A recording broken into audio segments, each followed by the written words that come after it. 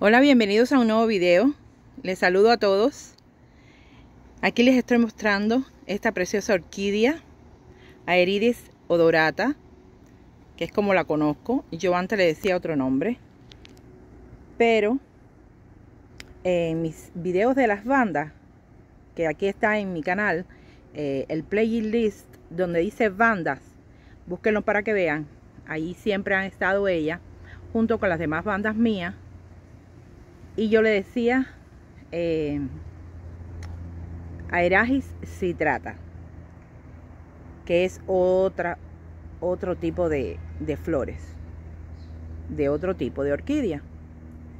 Pero esta, peculiarmente, miren su carita, como yo le digo, tiene como una trompita, como si fuera un elefante pequeñito pero es preciosa. Son unos racimos lindísimos. Miren esto.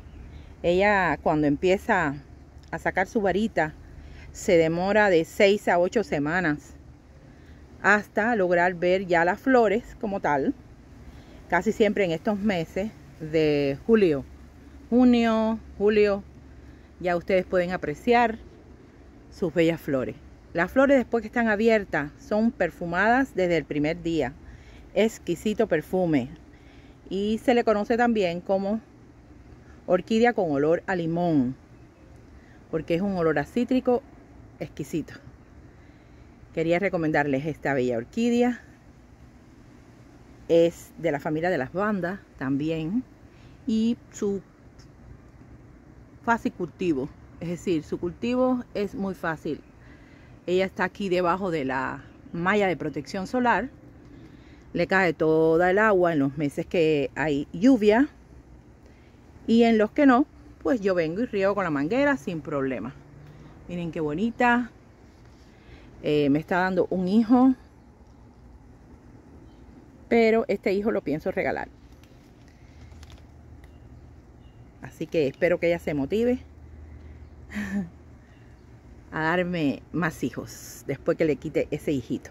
¿Dónde la tengo sembrada? Bueno, pues la tengo sembrada en estas cesticas que son del Dollar Tree con piedras de lava.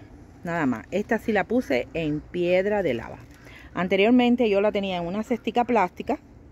Aparece en mis videos de, de bandas. Ustedes los pueden buscar en mi canal. Ustedes van a ver que yo le decía otro nombre. Yo le decía Aeragis citrata pero ya me aclararon que su nombre original es Aeridis odorata, así como le estoy explicando.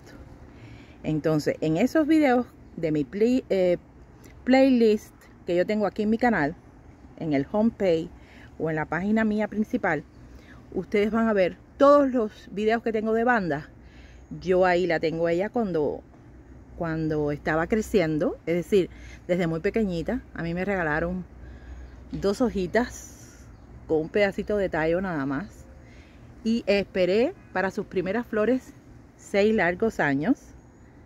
Y ahora, bueno, ya tiene nueve años. Y me está regalando nuevamente flores.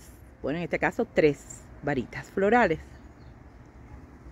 Ustedes saben eh, les voy a dar eh, un, dato que, para que lo sepan, que el Aerides, ese nombre de ella, significa hija del aire. y entonces el odorata quiere decir fragante. Es verdad que es un perfume, ustedes no saben cuánto. Estoy sintiendo esto ahora mismo aquí, un aroma espectacular. Bueno, pues la riego, ya les expliqué una vez a la semana cuando no hay lluvia. A manguera, chorro del agua y listo. Ella seca rapidísimo. Tiene muchísimas raíces por fuera. Miren, ¿ven? Y con las piedras está bien aguantadita. Por acá hay más raíces. Recuerden que las raíces así grisáceas ya es señal de que lleva riego. Ese es el color más menos. Y de buena salud, porque son así, grisáceas. Sus flores después que están abiertas, bueno, pues duran menos días. Duran unos 15 días mínimo. Pero desde el primer día con, esa, con ese olor exquisito. Bueno, pues aquí está esta belleza. La tengo bajo la malla de protección solar. Ella estuvo debajo de la, del árbol que yo tengo de, de fruta canistel, donde estaban todas mis bandas. Pero ya esta lleva aquí, ya la he pasado para acá. Y le ha gustado más aquí, aquí adentro. Sus hojas no están manchadas. Ella se ha adaptado perfectamente. Miren qué bonito viene ese hijo. Se lo voy a regalar a mi amiga Doris.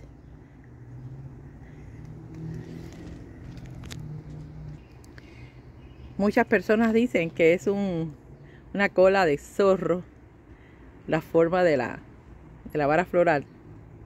Es preciosa, la verdad. Muy preciosa. Preciosa. Y miren ese, esa trompita que, que saca así. Qué linda. Es verdad que parece una carita de un elefante pequeñito. Recuerden que ya este tipo de banda no necesitan sustrato, pero yo siempre las pongo en cestas con sustrato, con, con el que viene para orquídeas, o en este caso a ella después de tenerla seis años con sustrato y piedra roja de lava, pues esta vez me embullé y la pasé completamente para las piedras rojas de lava. Ya lleva aquí dos años en esta cestica. Le puse los alambres estos que venden galvanizados, que venden para orquídeas y me ha ido muy bien. Bueno, no tengo más datos que darle sobre esta belleza. Fertilizarla, bueno, le he puesto mocote en unas bolsitas que vienen para poner las bolitas colgando. Y ahora mismo tengo que ya, cuando pasa la floración, pues ponerle nuevamente un mocote dos veces al año. Y a veces cuando riego, con la, con la manguera. Después vengo con una, un dispensador que yo tengo. Le preparo entonces el que es líquido. Eso es en otras ocasiones. El fertilizante que es líquido, el que se diluye en agua. Pero los mocotes perfectamente ella también le va. Esto es muy fácil. Después que uno le coge la vuelta a las orquídeas, pues ellas se van dando así facilito, sinceramente. Bueno, les saludo a todos. Gracias por ver mi video. Gracias por apoyarme.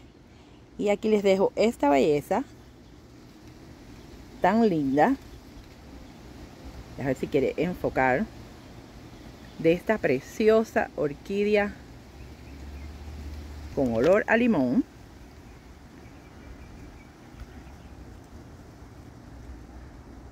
Les saludo a todos. Un abrazo desde Hialeah, Florida, para ustedes. No me quiere enfocar. Bueno, ver si enfoca aquí. Para que las vean a última hora. Bueno, un abrazo para todos. Bye bye.